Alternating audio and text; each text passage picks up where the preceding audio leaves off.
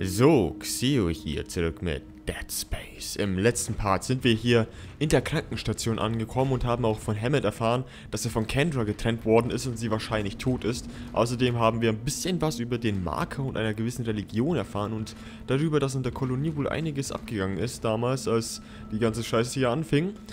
Ja, und wir müssen jetzt noch das Schockpad und das Thermit besorgen. Also gehen wir doch mal weiter. Biolabor. Zutritt nur für autorisiertes Personal. Na gut, dann schauen wir doch mal rein. Okay. Biological Prosthetic Center, we keep you working. Die. Habt ihr das gerade gemerkt? Die Lichtstimmung hat sich gerade total verändert. Gerade eben war es alles noch so bläulich und jetzt ist es übelst grün. Uhuhu, spooky, spooky. Oh, da ist ja jemand.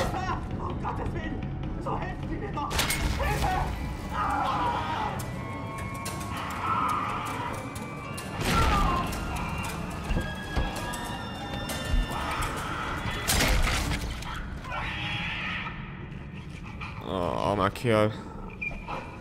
Das sind echte Scheißviecher, diese Babys. Ja, das ist echt nicht, echt nicht so cool. Ziemlich makaber. Ja, wir haben hier so eine Station mit Kleinkindern. Oder halt Babys, die irgendwie... Sind das Brutkästen? Aber es ist, warte mal, es ist doch Biolabor. Was haben die hier gemacht? Wenn man sich das mal so überlegt. Das ist unheimlich. So, wie viel Schuss haben wir denn im... Eine Strahlenkanone. Haben nicht nachgeladen? Anscheinend nicht. Okay. Okay, wir sind Bio... Ja, Biolabor. Jetzt, fällt mir das erste Mal auf. Das ist eigentlich ziemlich... Ja, macht die ganze Sache etwas unheimlich. Oh Gott, Alter, du hast echt nicht viel Glück gehabt. Das ist echt traurig. Die hat so lange überlebt, bis wir gekommen sind und dann auf einmal... Und dann kommt so ein Scheiß wieder her. Aber ihr seht, bei denen, das sind Fernkämpfer, also die schießen hier mit solchen ähm, Dornen auf uns von diesen drei Tentakeln und das sind auch die Angriffspunkte bei ihm, diese Tentakel muss man abschießen. Und das kann man mit der Strahlenkanone verhältnismäßig gut machen, wenn sie am Boden sind, aber sie können sich auch an die Wände stellen. Da geht das mit der Strahlenkanone natürlich nicht, da sollte man äh, vorzugsweise eine andere Waffe benutzen. Okay, fahren wir mal nach oben. Ich hab dich schon gesehen. Ich hab dich gesehen, mein Freund. Da. Okay. Und ich glaube, man muss alle drei runterschießen, um die Viecher dann auch zu erledigen. Oh, anscheinend nicht. Ja, fünf Schuss habe ich jetzt gebraucht und die sechs hat er wieder fallen lassen. Hoppala. Äh, Steinkanone. Lebt das Ding noch? Vorsichtshalber.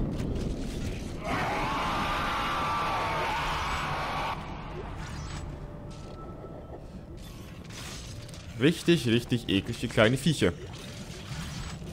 Na, wir machen aber gerade gut. Eigentlich ganz gutes Plus mit der Munition. Oh. Was ist denn das?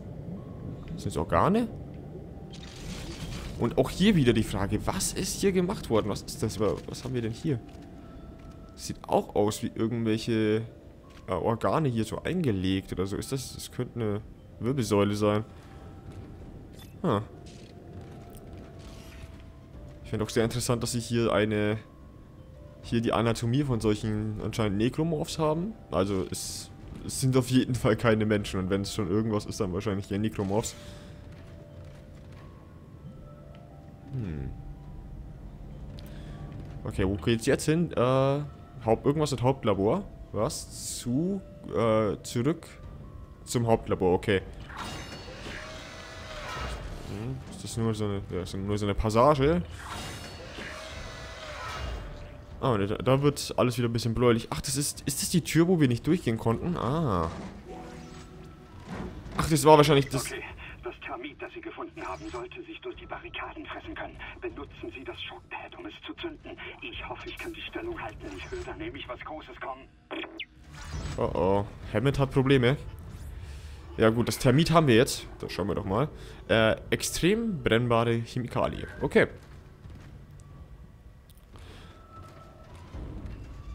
So, die Hälfte haben wir.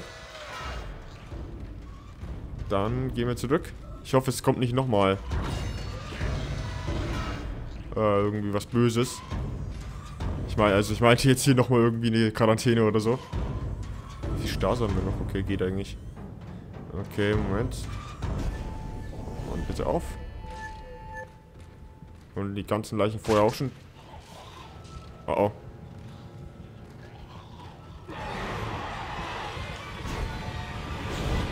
Ach scheiße, das ist so ein Teil mit gepanzerten Armen.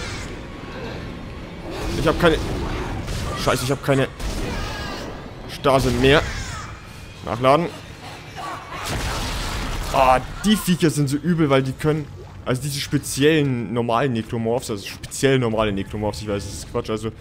Äh, die sind irgendwie, glaube ich, irgendwie weibliche. Also, sie wirken auf jeden Fall so und die haben auch ein bisschen andere Stimmung. Äh, Stimme. Die können auch äh, so eine ja, so einen Distanzangriff auf uns machen. Und das Übel bei denen ist, dass die gepanzerte Beine haben. Auf die kann man nicht auf die Arme schießen. Also bei denen kann man nicht auf die Arme schießen. Ah, das war gerade doch etwas stressiger als gedacht. Okay, aber Munition schaut gerade sehr gut aus eigentlich. Haben wirklich viel dabei. Okay, wir werden wieder hier. Ein kleiner Safe-Spot im Prinzip. Hier war keine Werkbank, oder? Nur ein Shop. Hm. Kann ich das Termit da schon anbringen? Ne, wir brauchen noch das, das Shockpad, damit wir dann die Termitbombe haben. Gut, ähm... Ich möchte ganz kurz mal ein Medikit von aus dem Shop holen. Noch. Bewegen. So, ja. Wir sind nämlich ein, noch ein kleines bisschen angekratzt vom letzten Part. Äh, ich benutze das auch mal einfach, dass wir wieder voll sind. Ja, Vorsicht ist ja bekanntlich besser als Nachsicht. Ich glaube, ich werde auch als nächstes beim Verbessern mal ein bisschen was in unsere Rig investieren. Dass wir mehr LP haben. Okay. CC Imagine Diagnostic Lab. Okay, Imagine Diagnostic Lab? Ähm, alles klar. Schauen wir doch mal, was ist dieses Klopfen hier? Oh, das ist dunkler geworden gerade. Hm. Oh, da ist eine Blutspur. Da steht auch jemand. Hallo? Alter. Du siehst echt nicht gut aus. Oh, ja. Du schaust allerdings wirklich nicht gut aus. Armer Kerl. Okay, wir haben Plasma-Energie und Stase-Energie. Wo kommen wir jetzt hin? Äh. Bild, ach, Bild, ach, wahrscheinlich bildgebende Diagnostik. Ah. Warnung, erhöhte Strahlung. Alles klar. Oh, come on. Ist da die Strahlenkanone eine gute Waffe dafür? Okay, da vorne liegt was. Und zwar ein Textlog. Ich glaube, solange ich mich nicht bewege, ähm, medizinisches Logbuch äh, Buch Dr. Warwick ähm, B., ähm, Chief Psy, äh, Psych Officer, Bericht über psychiatrische Beobachtung. Patient äh, Harris B. Arbeiter, irgendeine Nummer. Harris schläft jetzt, allerdings erst nach Verabreichung eines weit, weiteren starken äh, Sedativums. Ohne die medizinische Hilfsmittel äh, scheint er tatsächlich nicht schlafen zu können. Ganz egal, wie ausgeprägt der Wunsch ist, wach zu bleiben, erlitt, äh, äh, erliegen die meisten Menschen nach mehr als 50 Stunden ohne Schlaf der Erschöpfung. Nicht zu Harris. Seine Schilderung der Ereignisse in der Kolonie ist ebenfalls merkwürdig und, bedeutet auf die, und deutet auf die gleiche Paranoia hin, die wir bereits andern, andernorts auf dem Planeten feststellen mussten. Seine Schuld steht außer Frage. Zwei Sicherheitsoffiziere waren anwesend, als er, äh, als er Dr. Schiarello als Geisel nahm und ähm, Schwester Evans ermordete. Er, be, ähm, er bereut seine Tat allerdings auch nicht. Ähm, er bereut seine Tat allerdings auch nicht. Er besteht vielmehr darauf, dass, dass kein Verbrechen vorliegt er, und er verspürt keinerlei Schuld. Sein Verhalten ist zwar das eines klassischen Soziopathen, doch weist Harris darüber kein, hinaus keine weiteren typischen Symptome auf. Er ist umgänglich und freundlich, zeigt Einfühlungsvermögen und äußert seine Meinung. Befragt man ihn jedoch nach, nach dem Mord, zieht er sich zurück, wird, er, ähm, wird unnachgiebig und zeigt äh, schizophrene Verhaltensweisen. Er leidet zudem in peri periodischen Abständen an Halluzinationen, die weiterum, äh, wiederum äh, jene andere Kolo Kolonist, Kolonist, Kolonisten ähneln. Ähm, Harris behaupte, behauptet, er habe den Doktor bedroht, weil er wollte, dass die Träume und äh, Fratzen weggehen und dass er wieder töten würde, wenn es wieder ganz, äh, wenn es wieder ganz machen, äh, wieder ganz machen, um es wieder ganz zu machen. Ich habe allerdings noch nicht herausgefunden, was das bedeuten könnte. Ein absolut faszinierender Fall. Aha. Das ist also, also einer aus der Kolonie. Ist hart abgefuckt. Na gut, aber hier haben wir jetzt was sehr Interessantes. Und zwar eine Energieknotentür, von denen ich schon mal erzählt habe. Also wir haben jetzt zwei Energieknoten dabei. Ähm, dafür habe ich immer eine Reserve dabei. Jetzt können wir diese Tür hier aufmachen und kommen hier rein. Und hier liegt jetzt ganz, ganz viel Stuff rum. Da hätten wir einmal hier einen Halbleiter. Die können wir nämlich wunderbar verkaufen, diese ganzen Halbleiter. Da steht dahinter immer noch Gold oder Bronze oder Silber oder was weiß ich. Und je nachdem, ähm, was eben dahinter steht, kann man dann, ähm, sind sie mehr wert. Aber ja, die sind eben nur zum Verkaufen da. Dann Audiolog. Was gefunden, richtig? Ja, wir haben was gefunden. Dann stimmt es also, was in den Texten steht, die ganze Zeit. Da wäre ich mir nicht so sicher. An dem, was ich gesehen habe, war nichts göttlich. Wir müssen es in uns aufnehmen. Wir sind die ersten Zeugen. Matthias lässt keinen in die Kolonie runter. Sie steht unter Quarantäne, bis wir mehr wissen. Zur Hölle mit Matthias. Gerade er sollte wissen, dass das hier größer ist als er oder die Operation oder die ganze Firma. Das ist unsere Erlösung. Reißen Sie sich zusammen. Da unten sterben Menschen. Nur die Wertlosen und die Ungläubigen. Aber ich bin gläubig. Sind Sie gläubig, Terence? Na? Mmh, mmh. Da geht hier wieder die Sache mit der Religion, ne? Aber diesmal haben wir gar nicht so wir haben gar nicht so tolles Zeug hier drin bekommen. Ich glaube, diese Objekte, die man hier drin findet, sind Willkür. Also einige sind davon ähm, randomized, also kann man das nicht unbedingt beeinflussen. Also wir haben jetzt ein großes Medikit bekommen und diesen Halbleiter Gold. Und ein bisschen, was noch, was noch Geld oder Munition? Ich glaube Munition. Müssen wir mal schauen, wie viel dieser Halbleiter wert ist. Ähm, aber da jetzt diese ähm, Energieknotentür kam, können wir mal den Energieknoten, den wir noch haben, benutzen. Weil dann wird voraussichtlich erstmal keine mehr kommen. Äh, ja, was wollen wir denn verbessern? Also sowas wie Kinese-Modul verbessern ist absoluter ähm, Schwachsinn. Das braucht man eigentlich überhaupt nicht. Hm. Plasma-Cutter, da könnten wir die Kapazität nochmal erhöhen, erhöhen und bei den Strahlenkanone kann man den Schaden auch erhöhen. Man sieht auch, die ist ein bisschen stärker als unser Plasma-Cutter. Ähm, aber eigentlich, ich gehe mal, gehe mal bei der Rig ein bisschen, investiere da gleich noch was und dann können wir recht bald auch unsere äh, Trefferpunkte ein bisschen erhöhen. Gut, gut. Aber wir haben ja schon diesen dieses eine Vieh gesehen. Ich glaube, die heißen Lurker, wenn ich mich nicht täusche. Das weiß ich aber nicht sicher. So, alle Objekte, die dieses ähm, Symbol hier drauf haben, das sind Chinese-Objekte, die kann man greifen und zur Seite schieben. Da drin liegt ja jemand. Fällt mir gerade erst auf. Okay. Ja, ja, das habe ich bereits gemacht. Oh nein. Wo? Da.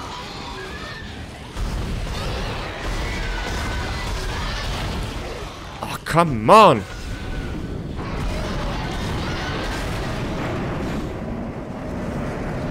Das war gerade echt überhaupt nichts. So. Das war gerade eine massive Munitionsverschwendung. Aber ich habe noch... Habe ich noch was gehört? Oder dachte ich das bloß? Ich meine, ja, wir haben gerade doch verhältnismäßig viel Munition, aber verschwenden muss man sie deswegen auch nicht. Ich gehe mal in dieses Labor da rein. Oder was auch immer das da ist. Gibt es da auch noch was, ein bisschen was zu holen? Okay, da gibt es schon mal Energieknoten. Oh. Damn. Armer Kerl. Okay, was haben wir hier? Impulsprojektil. Okay, das ist die Munition für die Strahlenkanone. Ähm, nicht Strahlenkanone. Für die, ähm, wie heißt's? Impulskanone. Hallo! So nicht! Ich wusste, dass du kommst. So, die ganz schlimmen Schocker, die kenne ich noch alle. Das ist kein Problem für mich, aber ich versuche bei diesen Sachen immer, also wo ich wirklich weiß, dass da jetzt ein richtiger Schocker kommt, das versuche ich immer, ähm, dann versuche ich das ein bisschen so zu überspielen, dass äh, es nicht auffällig ist, aber dass, dass halt Zuschauer, die das Spiel nicht kennen, noch nichts vermuten. Ich hoffe, das gelingt mir eben. Das, ist, das, das war so eine Sache, bei der ich ein bisschen überlegt habe, ob ich Dead Space spielen will, weil es eben... Es ist zwar ein Horrorspiel, aber ich kenne es halt schon mal schon. Und da ist halt dann immer die Frage für mich, ähm, kommt dann dieses Feeling rüber? Kommt dann dieses Feeling rüber? So, diesen einen Knoten verwenden wir auch gleich. So. Gut, wir haben jetzt diese Batterie da in dieses Teil eingesetzt. Äh, wenn man die eben rausnimmt, diese Batterie oder diese Batterie hier hin äh, nimmt und dorthin hält, dann rastet sie automatisch. Also wenn man sie in die Nähe hält, dann rastet sie, äh, rastet sie automatisch ein. Und dann kann man sie loslassen und dann hat man hier eine Stromversorgung. Habe ich nachgeladen? Ja. Okay. Alles klar. Oh, das sind auch irgendwelche Terminals oder sowas. So, wir müssen jetzt hier dieses Teil wieder greifen und uns hier so hinschieben. Dann haben wir eine Brücke, über die wir drüber gehen können. Ah. Habe ich getroffen?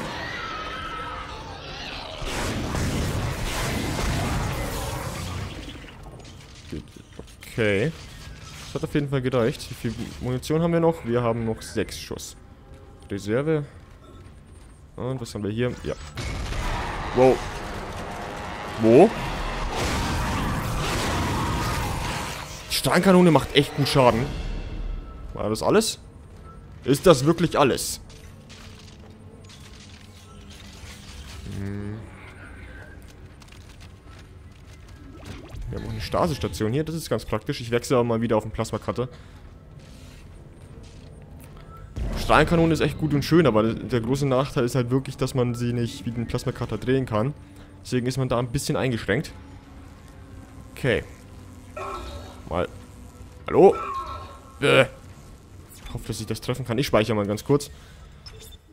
Ich würde jetzt ungern äh, Munition verbrauchen. Das wäre ein bisschen, naja, ich finde ein bisschen verschwendet. Gut. Geht das wirklich nicht? Come on. Isaac, gib dir Mühe. Jawohl, so muss das. Okay, Zero G ähm, Therapy. Therapy. Oder Therapiebereich wohl hier. Was steht hier? What are you willing to give up um, your life for? Okay. Was steht hier? Wieder diese Symbole. Um, the marker will save us. Noch mehr Symbole. Put it back, put it back. Ne, put it back. Put back what it... Ne, where it belongs wahrscheinlich. So, chemische Forschung ist äh, Forschungslabor. Warnung, erhöhte Strahlung, okay. Und da steht auch noch mehr zu Symbole. Äh, kleiner Fun Fact, vor einigen Jahren, also das hier ist eine spezielle Schrift aus dem Dead Space Universum, ähm, die konnte ich lesen.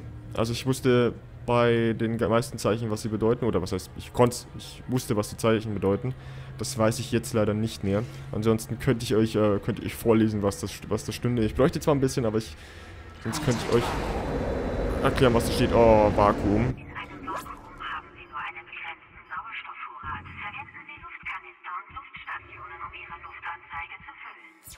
Ja.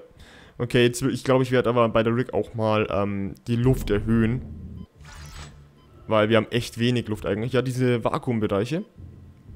Wir haben eine begrenzte Anzahl an Luft und, ähm, und natürlich der Sound ist weg, weil es ist eben ein Vakuum. Und ich meine, das ist schon eigentlich zu viel, dass wir irgendwie so kleine so Schritte hören. Luftkanister Mittel. Hey. Strahlmunition. Liegt hier noch was rum?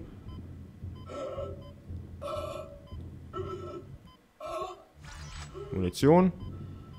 Ja, ja, steh nicht so an, Isaac. Du hast, du hast noch Luft.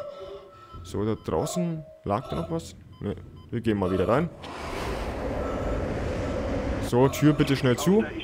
kann man die Schwerkraft lokal steuern. Ihre Schwerkraftstiefel werden einspringen, wenn Sie einen schwerelosen Bereich betreten. Jetzt habe ich nicht aufgepasst, was er gesagt hat. Ich glaube, irgendwas im schwerelosen Bereich. Weil es gibt auch im Schiff nochmal ähm, Zero-Gravity-Bereiche. Also, da ist kein Vakuum oder so, aber da ist halt auch kein, ähm, keine Gravitation. Boah, ich glaube, diesen Kanister muss ich schnell loswerden. Oh, unser Inventar schon wieder voll, das geht mir ein bisschen auf die Nerven. Ähm, na gut, doch, wir gehen noch rein. Den Raum machen wir noch. Ah ja.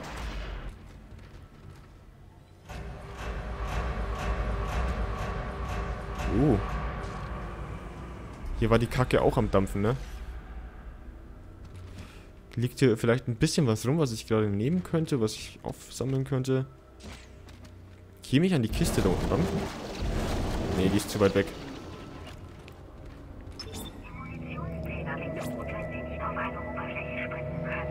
Ah ja, okay. So, wir müssen jetzt immer hier zielen. Irgendwas anvisieren. Und dann Y drücken. Und dann... Whee, springen wir. Äh, wo war denn jetzt diese Kiste, die ich gerade gesehen habe? Da. Komm her. Und zack. Okay. 800 Credits. Ja, das sind die Zero Gravity Bereiche in diesem Spiel. Habe ich was gehört?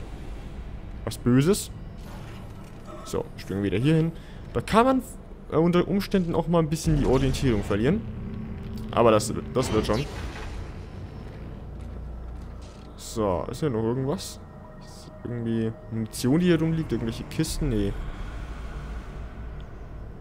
Nee, nee, nee, nee, nee. Ich glaube nirgends. Uh, alright, dann ist ja alles gut, ne? Okay. Was ist denn der nächste Raum? Der Raum, der ich denke? Ah, okay. Hm. Ich wusste, ich hätte jetzt gedacht, dass hier was anderes kommt. Warte mal, mach, warten wir mal, bis die Tür zu ist. Genau. Sehr schön. Und was haben wir hier noch? Das Schockpad haben wir jetzt hier aufgehoben, das hier lag. Gut, Sie haben ein Schockpad. Benutzen Sie das jetzt zusammen mit dem Termit, um die Barrikade hochzujagen. Scheiße, ich kann noch mehr kaum hören. Durch die Luftschächte. Seien Sie vorsichtig, Isaac. Alles klar, werden wir dran denken. Passen Sie auch auf sich auf, Hammond. Aber ich würde jetzt mal sagen, das war's mit Dead Space für heute. Also, wenn es euch gefallen hat, würde ich mich über eine positive Bewertung freuen. Auf der Endcard könnt ihr sehen, wo ihr abonnieren könnt. Und dann im nächsten Part gehen wir auf jeden Fall schon mal zurück zur Barrikade und jagen das Ding hoch. Also, bis dahin. Ciao.